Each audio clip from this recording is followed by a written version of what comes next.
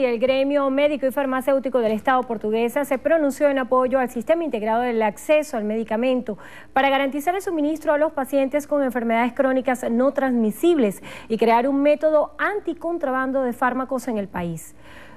Dioxolina Navarro, representante del gremio farmacéutico en portuguesa, explicó que una vez registrados en el CIAMET, los pacientes podrán hacer seguimiento a sus medicamentos y conocer la ubicación de los mismos a través de la mensajería de texto. El director Oscar Silva, jefe del proyecto Karen en portuguesa, agregó que se trata de un sueño hecho realidad porque al paciente se le garantizará su tratamiento en la farmacia de su preferencia.